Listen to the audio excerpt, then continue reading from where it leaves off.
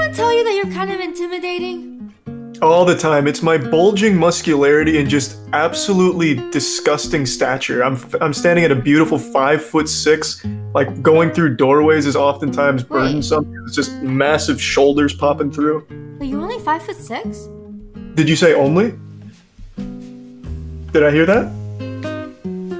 It's cute. Oh, okay.